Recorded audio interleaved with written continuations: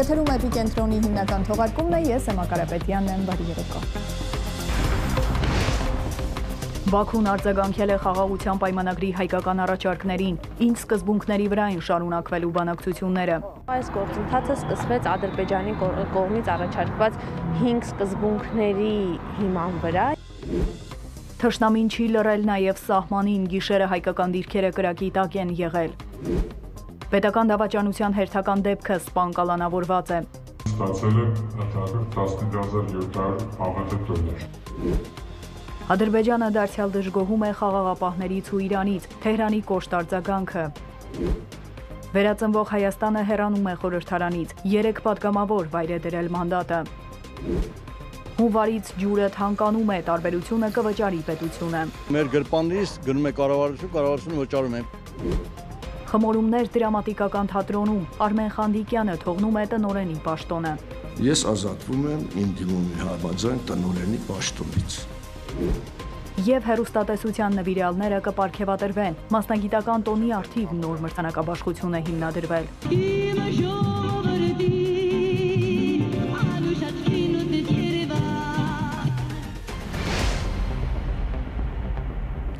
Եվ այսպես Հայաստանն Ադրբեջանի նախագահի նահոր շաբաթվա աղմկահարույց հայտարարություններին մանրամասն արձագանքեց միայն նախորդին։ Պարզվում է Բաքուն հարաբերությունների կարգավորման Երևանի առաջարկներին պատասխանել է։ Բովանդակությունը չի բացահայտվում, բայց հնարավորինս շուտ համաձայնության հասնելու գործընթացում ըստ հայկական կողմի կարևոր դեր ունեն նաև միջազգային գործընկերները։ Բաքուն արձագանքել է խաղաղության պայմանագրի նախագծի հայկական առաջարկներին, որոնք Ադրբեջանին էին փոխանցվել Վաշինգտոնում, ինչ բովանդակությամբ փակագծեր չեն բացվում։ Հայաստանի Հանրապետությունը առաջարկել է խաղաղության շրջանակային համաձայնագիր ստորագրել։ Այս գործընթացը սկսվեց Ադրբեջանի կողմից առաջարկված 5 սկզբունքների հիման վրա եւ կարծես ոչ մեկը չի հերքել, որ այդ առաջարկները հստակեցումները տեղի են ունենում հենց այդ սկզբունքների վրա։ Հայկական կողմը բազմիցս հայտարարել է, որ Բաքվի 5 կետերն ընդունելի են կամ միայն լրամշակման կարիք Քաղաքագետը հիշեցնում է այս փաստաթուղթն ի սկզբանե չի բխել Հայաստանի շահերից նպատակը ի սկզբանե Ադրբեջանի շահերը առաջ մղերն էր, Ադրբեջանի կողմից Արցախյան հակամարտության էջը մեկ ընդմիշտ փակելը, զրկելը Հայաստանին ոչ միայն այսօր, այլ նաև հետագայում Արցախի ինքնորոշման իրավունքի մասին խոսելուց։ Պատմական քարտեզների մասին Բաքվի խոսույթը Երևանի համար հասկանալի չէ։ Արտգործնախարարի խոսքով, եթե շեշտը դրվի պատմական քարտեզների վրա, կարող է պարզվել, որ եւ Հայաստանի եւ առավել եւս Ադրբեջանի այսօրվա տարածքները դարերով եղել են այլ պետությունների տարածքներ։ Հայաստանն ու Ադրբեջանը հավասարեցված դիտարկելը արդեն իսկ անհասկանալի եւ աբսուրդային է, որովհետեւ Հայաստանը դարավոր պետականության մշակույթ եւ պատմություն ունեցող երկիր է, այնինչ Ադրբեջանը ընդամենը բոլորովին վերջերս է ձևավորվել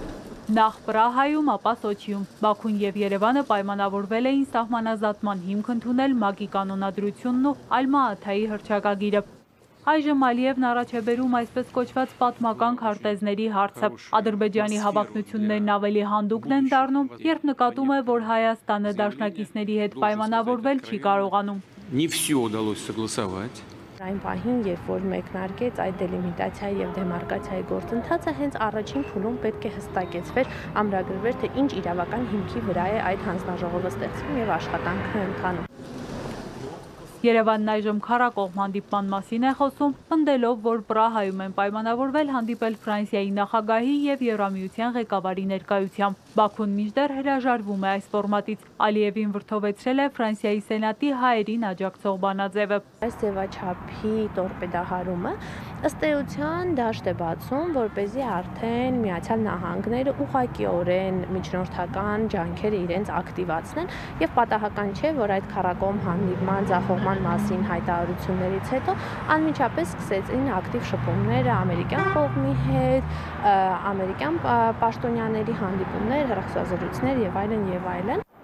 Մոսկվան թվում է վերջին շրջանում ավելի է ակտիվացրել ջանքերը հարավային Կովկասում։ Այսպիսով արևմուտք Ռուսաստան լարվածությունն այս տարածաշրջանում ավելի է խորանում։ Միևնույն ժամանակ մեծ է նոր ռազմական բախման հավանականությունը Հայաստանի սահմանին ու նաև Արցախում։ Այս են վկայում Բաքվի ամենօրյա սադրանքները։ Հերմինե Ղարիբյան, Երվանդ Ղամբարյան, Էպիկենտրոն։ Հակառակորդը չի լռում նաև սահմանին երեկոյան հայ-ադրբեջանական սահմանագոտու արևելյան հատվածի մարտական դիրքում թշնամու կրակոցից հայ զինծառայող է վիրավորվել, վիճակը բավարար է, կյանքին վտանգ չի սպառնում։ Գիշերը եւս անհանգիստ է եղել տարբեր դրամաչափի հրաձգային զինատեսակներից կրակել են արևելյան հատվածի հայկական դիրքերի ուղությամբ։ Բաքուն նաև ապատեղեկատվություն է տարածել իբր պաշտպանության բանակի ստորաբաժանումները երեկո այսօր կրակել են Շուշիի, Մարտունու, Մարտակերտի եւ Ասկերանի օկուպացված տարածքներում տեղակայված ադրբեջանական դիրքերի ուղությամբ։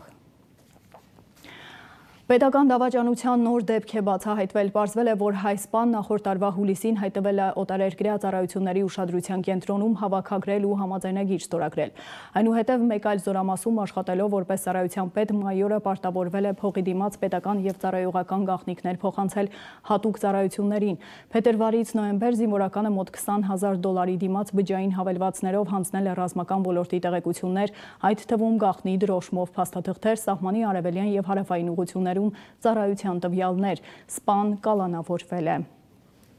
Օտարերկրյա գործակալների փոխադրել է իր զորամասի հաստիգացությամբ։ Հայաստանի Հանրապետության զինված ուժերի թիկունքի պետի կարգադրությունը հանդական տագնապի վերաբերյալ։ Բարձրաստիճան սպայական անձնակազմի ծառայության նշանակման ազատման դրանց անհատական այլ տվյալներ։ Զորամասի ստորաբաժանումների կողմից ծառայություն իրականացնելու վայրը ինչպես նաև այլ նմանատիպ տեղեկություններ, որոնց դիված տարբեր օրերի նրանցից ստացել եմ ընդհանուր 15700 ԱՄՆ դոլար։ Ադրբեջանի Միլի Մեջլիսը ռուս խաղաղապահներին մեղադրում է Արցախում ոչ թե ադրբեջանական, այլ հայկական տեղանուններ կիրառելու համար։ Ավելին Ադրբեջանի խորհրդարանն այս արծով իր դժգոհությունը պատրաստվում է ներկայացնել Ռուսաստանի Պետդումային։ Հարևան երկիրը նաև տարածքային հավակնություններ է ներկայացնում Իրանին։ Պատգամավորներից մեկն առաջարկել է Ադրբեջանը վերանվանել Հյուսիսային Ադրբեջան հաշվի առնելով իբր երկրի աշխարհակաղակական դիրքը։ Ի պատասխան Իրանի Մեջլիսից զգուշացրել են, որ հենց Ադրբեջանը պետք է միանա Իրանին, այլ ոչ հակառակը։ Երևան-Անկարա հարաբերությունների կարգավորման գործընթացը շարունակվում է դրական հունով հայտարարել է Թուրքիայի նախագահի մամուլի քարտուղարը։ Իբրահիմ Քալանը հիշեցրել է, որ այս ամսվա սկզբին սահմանին տեղի ունեցել տեխնիկական պատվիրակությունների հանդիպում։ Նրա խոսքով երկու երկրների հատուկ ներկայացուցիչները կանոնավոր կապի մեջ են, քննարկում են տարբեր հարցեր։ Հավանական է, որ առաջիկայում Հայաստան-Թուրքիա սահմանը հնարավոր լինի հատել անձնագրով։ Şimdi Sayın Cumhurbaşkanımızın Prag'da Sayın Paşinyan'la yaptığı görüşme çok. Մենք կարևորում ենք Թուրքիայի նախագահ Ռեջեփ Թայեփ Էրդողանի եւ Հայաստանի վարչապետ Նիկոլ Փաշինյանի Պրահայում կայացած հանդիպումը։ Մենք ցանկանում ենք, որ ամբողջ հարավային Կովկասում հիմք ստեղծվի խաղաղության եւ բարգավաճման համար։ Ղարաբաղյան հարցը լուծված ենք համարում։ Կապեր են հաստատվում, որոնք չէին կարող հաստատվել 30 տարվա ընթացքում։ Այժմ տեղի են ունենում ուղիղ շփումներ, այլ ոչ թե երրորդ կողմերի միջոցով։ Դա շատ կարևոր է։ Էրդողանը հոխորտում է Սիրիայում եւ Իրաքում ահաբեկչության դեմ պայքարը շարունակելու մասին հրամայելով չմիջամտել իր երկրի ներքին գործերին։ Թուրքական զինուժը կազմում պատրաստ է նաեւ ցամաքային գործողություն սկսելու համար։ Ֆրիդա թուրք-սիրիական հարաբերությունների կարգավորման հարցում ինչ տարբերակներ է առաջարկում Դամասկոսը։ Այո, Էմա Սիրիայի պատգամավորներից մեկը հայտնել է, որ նախ Թուրքիան պետք է հրաժարվի ահաբեկչական խմբերի ֆինանսավորումից եւ զինելուց, մարզելուց հետո ընդունի, որ զավթել է Սիրիայի տարածքները եւ դուրս բերի իր զորքն այնտեղից։ Պատգամավորը նաև նշել է, որ հասկանում են Թուրքիայի ռազմաօթային գործողությունն ուղված է քուրդ ահաբեկիչների դեմ, սակայն բոլոր քրդերը չէ, որ ահաբեկիչ են։ Իսկ դիվանագիտական երկխոսությունն էլ հնարավոր է, եթե դրա հիմքում լինի Ադանայի համաձայնագիրը։ Այս ընթացքում քրդերը հասցրել են դիմել Ռուսաստանին միջնորդի դեր ստանձնել Սիրիայի հետ բանակցություններում։ Թուրքիայի նախագահը հավատարիմ իր հռետորաբանությանը պնդում է. քրդական աշխատավորական կուսակցությունը հաբեկչական խմբավորման դեմ պայքարը շարունակվելու է մինչև վերջին զինյալը։ Էրդողանն ընդգծում է, որ Թուրքիան շարունակում է վճռական մնալ իր հարավային սահմանների մոտ 30 կիլոմետր խորությամբ անվտանգության գոտի ստեղծելու հարցում եւ մտադիր չէ որևէ մեկից թույլտվություն խնդրել իր սահմանները պաշտպանելու համար։ Ոչ ոք չի կարող դատարկ սպառնալիքներով ստիպել մեր երկրին քաղաքական, դիվանագիտական, տնտեսական եւ ռազմական ոլորտերում իր շահերին հակասող դիրքորոշում ունենալ։ Ոչ ոք չպետք է մտահոգվի Թուրքիայի քաղաքականությամբ, որը հիմնված է արդարության, համերաշխության եւ դիվանագիտական նախաձեռնությունների, բարեկամության եւ գործակցության սկզբունքների վրա։ Սպիտակ տան ազգային անվտանգության հարցերի խորհրդականի գնահատականով Թուրքիան կարող է պաշտպանվել ահաբեկչական հարձակումներից եւ իր տարածքում եւ այն սահմանի մոտ, որտեղ ահաբեկչական հարձակումներ են տեղի ունենում։ Միացյալ Նահանգները կողմ է Սիրիայի հյուսիսում լարվածության թուլացմանը։ Միևնույն ժամանակ Վաշինգտոնը դեմ այն միջոցառումներին, որոնք կհանգեցնեն զոհերի։ Մենք անհանգստացած ենք, որ Թուրքիայի գործողությունները կարող են խաթարել իսլամական պետություն ահաբեկչական կառույցի դեմ պայքարում Միացյալ Նահանգների եւ քրդական զինված խմբավորումների համատեղ գործունեությունը։ Այս ընթացքում Սիրիայի հետ սահմանամերձ տարածքներում տեղակայված թուրքական բանակի ստորաբաժանումներն ավարտել են ցամաքային գործողության նախապատրաստական աշխատանքները եւ սպասում են օպերացիան սկսելու հրամանի։ Անհրաժեշտության դեպքում Թուրքիան ցամաքային գործողություն կսկսի Սիրիայում, իսկ Դամասկոսի հետ երկխոսությունը շարունակում է հետախուզական գործակալությունների մակարդակով։ Սիրիայի հյուսիսում եւ Իրաքում իր գործողությունները Թուրքիան համաձայնեցրել է ռուսական կողմի հետ, ասել է Քալանը եւ շարունակել, որ կուլիսային դիվանագիտության տեղեկությունը Էրդողան-Ասադ հանդիպան մասին դժվար թե հնարավոր լինի 2023 թվականին Թուրքիայում կայանալիք նախագահի ընտրությունից առաջ։ Թուրքական ճանք սուր հատուկ գործողության ֆոնին Դամասկոսը պայմաններ է ներկայացրել Անկարային։ Սիրիայի խորհրդանի падգամավոր եւ արտաքին հարաբերությունների հանձնաժողովի նախագահ Պիեր Մարժանեն հայտնել է, որ թուրք-սիրիական հարաբերությունների կարգավորման համար կա հնարավորություն բայց նախ եւ առաջ Թուրքիան պետք է հրաժարվի ահաբեկչական խմբերին ֆինանսավորելուց եւ մարզելուց եւ ընդունի, որ զավթել է Սիրիայի տարածքները։ Բացի այդ, Թուրքիան պետք է ցույց տա, որ պատրաստ է դուրս հանել իր զորքերը Սիրիայից։ Պատգամավորը նաև նշել է, որ հասկանում են Թուրքիայի ռազմաօթային գործողությունն ուղղված է քուրդ ահաբեկիչների դեմ, սակայն բոլոր քրդերը չէ, որ ահաբեկիչ են։ Իսկ դիվանագիտական երկխոսությունն էլ հնարավոր է, եթե դրա հիմքում լինի Ադանայի համաձայնագիրը։ Սիրիայի դեմոկրատական ուժեր ռազմական դաշինքը, որի հիմքը քրդական զինված խմբավորումներն են, օգնության խնդրանքով դիմել է Ռուսաստանին Սիրիայի կառավարության հետ համաձայնության հասնելու համար։ Երկրի հյուսիս-արևելյան տարածքները թուրքական զորքերից պաշտպանելու նպատակով։ Սիրիայի հյուսիսում հրետակոծվել է մոտ 20 բնակավայր, հարվածների թիրախում են եղել Հալեպի մարզի Ալ-Շեհբա եւ Աֆրին սահմանամերձ շրջանների գյուղերը։ Ընդհանուր առմամբ թուրքական զինուժն այդ բնակավայրերի ուղղությամբ արձակել է 545 արկ։ Հարվածի հետևանքով զոհվել է 3 զինծառայ Գավառայով։ Ֆրիդա Ղազարյան, Էպիկենտրոն։ Այսքանն էինք առանձնացրել այսօրվա միջազգային անցուդարձից Էմմա։ Շնորհակալ եմ Ֆրիդա, այժմ այն մասին, թե ինչ եք դիտելու թողարկման հաջորդ հատվածում։ Վերածնվող Հայաստանը հեռանում է խորհրդարանից։ 3 падգամավոր վայր է դրել մանդատը։ Հունվարից ջուրը թանկանում է, տարբերությունը կվճարի պետությունը։ Մեր գրպանից գնում է կառավարություն, կառավարությունը վճարում է։ Խմորումներ դրամատիկական թատրոնում Արմեն Խանդիկյանը թողնում է տնորենի պաշտոնը։ Ես ազատվում եմ իմ դիմումի համաձայն տնորենի պաշտոնից։ Եվ հերոստատեսության նվիրալները կպարգևատրվեն։ Մասնագիտական տոնի արդիվ նոր մրցանակաբաշխություն է հիմնադրվել։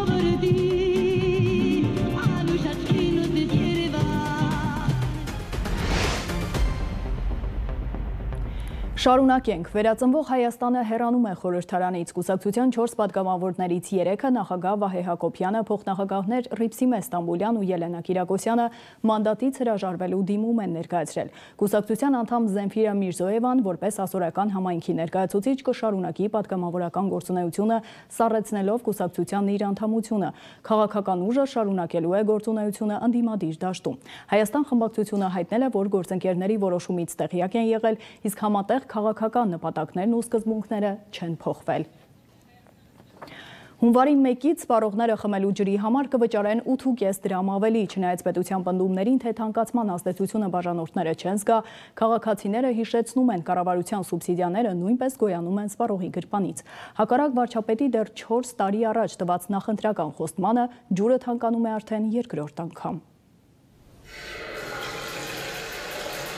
Խմելու ջուրը թանկանում է 200-ից դառնալով 208-415 դրամ։ Թանկացման հայտը Վիոլետ ջուրն օգոստոսին էր ներկայացրել հանրային ծառայությունները կարգավորող հանձնաժողովին, առաջարկելով բոլոր սպառողների համար սակագինը բարձրացնել 9 դրամ 1 խորանարդ մետրի համար։ Հանձնաժողովն ուսումնասիրել ու որոշել է սոցիալապես անապահով խավի համար թողնել գործող 180 դրամ սակագինը, իսկ սովորական սպառողների համար 9-ի փոխարեն ջուրը թանկացնել 8.5 դրամ։ 108.5 դրամը, որ մենք սահմանեցինք, ուժի մեջ համատնում 23 թվականի հունվարի 1-ից։ Այլ հարցա, որ բաժանորդները իրենց վրա այդ ազդեցություն չեն զգա, քանի որ կառավարությունը նախատեսում է տարբերությունը սուբսիդավորել։ Ջուրը չթանկացնելը Փաշինյանի դեռ 2018 թվականի նախընտրական խոստումներից էր։ Մինչև 2024 թվականը Հայաստանում խմելու ջրի թանկացում տեղի չի ունենալու։ 3 տարի անց վարչապետը մտափոխվել էր։ Մենք կարող ենք պահել 2024-ը միջև ջրի գինը չբարձրանա, բայց 2024-ին այնքան բարձրանա, որ ինքը համաչափության խնդիր ունենա։ 2018-ից հետո խմելու ջուրը երկրորդ անգամ է թանկանում։ Առաջինը տարեսկզբին էր 20 դրամ։ Բիոլիա ջուրը ներկայացնում է սակագնի բարձրացման պատճառները հոսանքի սակագինն է, ինչպես նաև սղաճը, որի նկատմամբ ցավոք ընկերությունը ուղղակիորեն որևէ ազդեցություն չի կարող ունենալ, որպեսզի նպաստի նրանց նվազեցմանը։ Եվ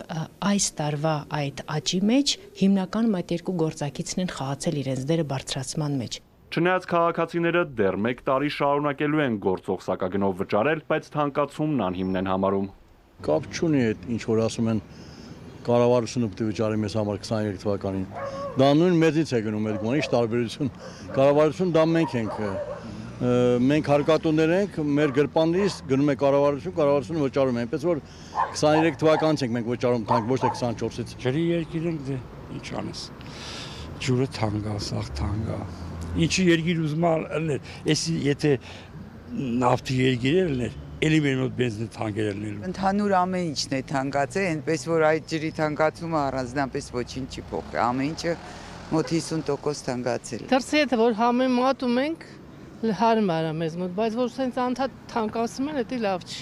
Գազի գնի ճշգրտման վերաբերյալ հանձնաժողովը ուսումնասիրություն կսկսի եկող հունվարից, վերջնական սակագին սահմանելուց հետո։ Չնայած կառավարությունն ասում է, որ կապույտ վառելիքի սակագինը 10 տարի անփոփոխ է լինելու հաստատվել է մի միջ կառավարական համաձայնագիր, այդ համաձայնագրում նախատեսված է, որ առաջիկա 10 տարիների ընթացքում, եթե 165 դոլարից բարձր գին հանկարծ ունենա Հայաստանի Հանրապետություն ներկրվող գազը, ապա համապատասխան չափով կնվազեցվի այդ 35 միլիոն, այսինքն 10 տարվա հաստատուն գինը կապած է այդ հրազդան 5-ում ներառվող գնի հետ։ Հանձնաժողովը տարին 1 վերանայում ու ճշգրտում է նաև հոսանքի գինը։ Գարեգին Բաղրամյանի գնահատմամբ հատկապես դոլարի անկումը դրական ազդեցություն ունի, բայց ինչ ծավալով կազդի սակագնի վրա, པարզ կլինի ուսումնասիրությունն ավարտելուց հետո։ Արթուր Հակոբյան, Հարություն Հովսեփյան, Էպիկենտրոն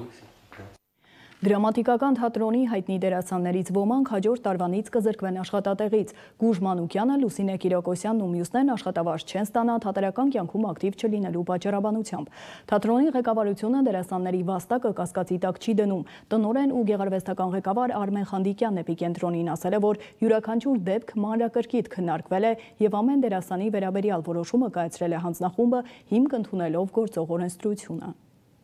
Օրը Գուժ Մանուկյանին վրթովեցրել է անսպասելի լուրը։ Ժողովրդական արտիստը հունվարի 1-ից չի աշխատելու Հրաչյա Ղափլանյանի անվան դրամատիկական թատրոնում, հետևաբար աշխատավարձ եւս չի ստանալու։ Ես զարմանում եմ, ուղղակի ապշում եմ, որ նման բան խոսակցություն եղավ Մանուկյանը մոտ երկու տարի է հարազատ թատրոնի բեմ չի բարձրանում պատճառը առողջությունն է։ Եթե կարողանար այսօր էլ կհիացներ իր դերերով։ Դու իր մասին մի մտածիր կայախա։ Ինձ համար միշտ էլ գործ կճարվի։ Կարծում է այս խոսակցությունը պետք է ընդհանրապես չլիներ, հաշվի առնելով մի շարք գործոններ, այդ թվում վաստակը։ Թատրոնի պատմության համար էլ սա նորություն է։ Հանդիսատեսը միշտ է բարձր գնահատել Մանուկյանի տաղանդը։ Հարցնում են ով է խաղում այս ներկայացման մեջ շատ տանուններ բան եւ մի հատ էլ ին լրումն մյուսնեի Գուժմանիկյանը, հա, որ Գուժմանիկյանը կա եւ այս կանից հետո նման բան Դրամատիկական թատրոնի տնորենն ասում է, հարցը բարոյական կողմ ունի, սակայն օրենքը մնում է օրենք, բախումը կտրուկ է։ Բարոյական կողմը բոլորիս համար էլ ծանր է։ Բոլորիս, սկսած ինձնից եւ խոսքը առաջին հերթին ինձ համար վերաբերում է Գուժ Մանուկյանին, որը հսկայական ավանդ ունի ոչ միայն մեր թատրոնի բեմում ստեղծած կերպարների միջոցով, կինոյում, հերոստաթատրոնում, Որոշումը կայացրել է հանձնախումբը, որը բավական երկար է աշխատել։ Ընդհանուր առմամբ թատրոնից հեռանալու է 8 աշխատակից։ Ըստ օրենքի պահանջի հաշվի առնելով տարիքը Արմեն Խանդիկյանն էլ իրավունք չուներ տնորեն աշխատելու, սակայն հաշվի են առել թատրոնի տարեկան արդյունքները, որոնք գոհացրել են։ Եվ եթե ես շարունակել եմ, ես էլ խնդրել եմ, բացատրել եմ, որ մյուսներին էլ առայժմ պիտի հետաձգվի։ Դրա համար տարիներ շարունակ հետաձգվել է, բայց հասել է պահը։ Եվ հենց սկզբից ես ասեմ, որ դեկտեմբեր 1-ից այս թվականի 22 թվականի դեկտեմբեր 1-ից իմ դիմումի համաձայն, որ արդեն ուղարկել եմ ես քաղաքապետարան, ես ազատվում եմ իմ դիմումի համաձայն տնորենի պաշտոնից։ Գուժ Մանուկյանի պես հունվարի 1-ից չի վարձատրվի նաև վաստակավոր արտիստ Լուսինե Կիրակոսյանը։ Նա բեմ չի բարձրանում մոտ 9 տարի։ Հարցազրույցներից մեկում դերասանուհին նշել էր, որ իրեն ուղակի դեր չեն տալիս։ Խանդիկյանը հակադարձում է դերի առաջարկ եղել է։ Կարող եմ մեղադրել թատրոնին։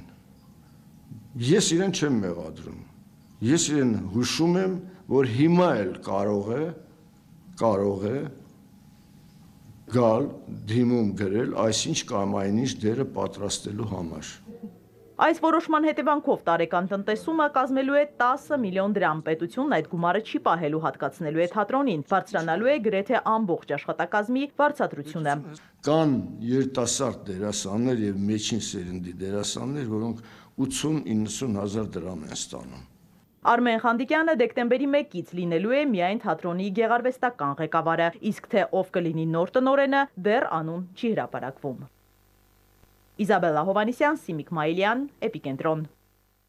Այժմ մեր մասին այսօր Հայաստանում նշվում է հերոստատեսության աշխատողի մասնագիտական տոնը։ Արդեն 66 տարի ոլորտի նվիրյալները կապույտ էկրանի միջոցով ոչ միայն լրատվություն են մատուցում, այլև հանրային մտածողություն ձևավորում, մշակույթ, ճաշակ ու ոչ թելադրում։ Խորհրդանշական այսօրը հայկական հերոստանգերությունների ղեկավարները կնքել են հուշագիր հիմնադրելով Ադամյան մրցանակաբաշխությունը։ Այն ամեն տարի կպարգևատրի ոլորտի լավագույններին ու կներկայացնի հայկական հերոստատեսության ձեռքբերումները։ Բարի երեկո, սիրելի հերոստատիտողներ։ Սկսում ենք հայկական հերոստատեսության փորձնական հաղորդումները։ Հենց այսպես ազդարարվեց հայկական հերոստատեսության մեկնարկը։ Երևանն է խոսում։ Երևանն է խոսում։ Երևանի ամենաբարձր կետից առաջին հերոստա աշտարակը 1956 թվականին սփռեց հայկական առաջին հերոստա եթերը, դառնալով խորհրդային Հայաստանի ամբողջ բնակչության անբաժանելի մասնիկը։ 66 տարի անց արդեն տասնյակ կապուղիներով ամեն օր եթերապահովող ընկերություններն առաջին անգամ պաշտոնապես նշում են հերոստատեսության աշխատողի մասնագիտական տոնը։ Խորհրդանշական վայրում հայտարարվում է նաև Ադամյան մրցանակաբաշխության հիմնադրման մասին։ Գունավոր հերոստատեսության գյուտի հեղինակ Հովանես Ադամյանի անվամբ միջոցառմանը կպարգևատրվեն ոլորտի լավագույնները։ Ամեն տարի այս օրը հանրությանը կներկայացվեն հայկական հերոստատեսության ձեռքբերումները։ կենտրոն հերոստանգերությունը նույնպես դրեց իր ստորագրությունը այդ փաստաթղթի տակ եւ միացավ հերոստանգերությունների այն համայնքին, որոնց համախմբման եւ որոնց քննարկումների արդյունքում պիտի ձևավորվի Ադամյան մրցանակաբաշխությունը։ Ռուսական հերոստատեսությունում կա TEF-ի մրցանակաբաշխությունը, կա ամերիկյան Emmy մրցանակաբաշխությունը եւ դրանք շատ հայտնի անուններ են վերհանում, շատ հայտնի անուններ են մատնանշում ու նաեւ խրախուսում են հերոստատեսության աշխատակիցներին մրցունակ լինելու, առավել ինտենսիվ ու լավ աշխատելու, սա մրցակցություն է, սա գաղափարների պայքար պայքար է եւ ինչու չլինի նաեւ Հայաստանում, ինչը շատ ողջունելի է։ Մենք արդեն հունվարից կսկսենք աշխատանքը, որը բաց կլինի թափանցիկ եւ արդեն հաջորդ տարվա ամսի 29-ին ես կարծում եմ մենք ականատեսը կլինենք շատ կարեւոր շոուի, հա, եւ որով մենք կկարողանանք եւս մենք անգամ հասարակությունա ցույց տալ, որ անկախ բոլոր տարաձայնություններից, անկախ հերոստանգերությունների տարբեր ռեսուրսներից, տարբեր պատկանելությունից, տարբեր խմբագրական քաղաքականությունից մենք անում ենք մի ընդհանուր գործ, Տասնյակ չափորոշիչներ են հերոստատեսության ներկայացուցիչները քննարկել։ Ժյուրին ու հերոստադիտողները կընտրեն լավագույններին, խոստանում են ընտրությունն անաչար կլինի։ Մեխանիզմը մենք գտել ենք, կարծում եմ, քննարկել ենք տարբեր տարբեր ձևաչափեր, ինչպես ենք որոշելու եւ հիմա կարեւորը այն է, որ մեզ մոտ ստացվեց ու ես կուզեմ, որ մենք բոլորս ոչ թե ֆիքսվենք, թե ինչ տարաձայնություններ կան եւ ինչի չէր ստացվում, այլ որ մեզ մոտ վերջապես ստացվեց ու այն որ այս պահին էլ այստեղ բոլոր հերոստանգերություններն են, դա հենց դրա մասին է խոսում, որ մեզ մոտ իրոք ստացվեց որպես հերոստանգերության աշխատակիցներ ու շատ կարևոր է որ մենք բոլորս միասին ենք նշում մեր օրը։ Իսկ մինչև մրցանակաբաշխությունը դեռ 1 տարի կա։ Ամեն օր անկախ տոնից հերոստատեսության նվիրալները կշարունակեն մատուցել բազմակողմանի արժանահավատ տեղեկատվություն, թելադրել գեղագիտական ճաշակ, մնալով հայկական ընտանիքների անբաժանելի մասնիկը։ Էստեր Մեսրոպյան, Ալեքսանդր Կիրոյան, Էպիկենտրոն։ Եվ թողարկման վերջում ջրանջատման մասին։ Վեոլիա ջուր ընկերությունը տեղեկացնում է հաճախորդներին եւ սպառողներին, որ վթարի վերացման աշխատանքներով պայմանավորված նոյեմբերի 30-ին ժամը 6-ից 20-ը կդադարեցվի Կոտայքի մարզի Աբովյան քաղաքի 3-րդ միկրոշրջանի, հանրակացարանային թաղամասի եւ Հատիսի 2-րդ շենքի ջրամատակարարումը։ Ընկերությունը հայցում է սպառողների ներողամտությունը պատճառված անհանգստության եւ շնորհակալություն հայտնում ըմբռնման համար։ Այսքանը սա էպիկենտրոնի հիմնական թողարկումներ, մենք դարձյալ եթերում կլինենք 21-ից 30-ին։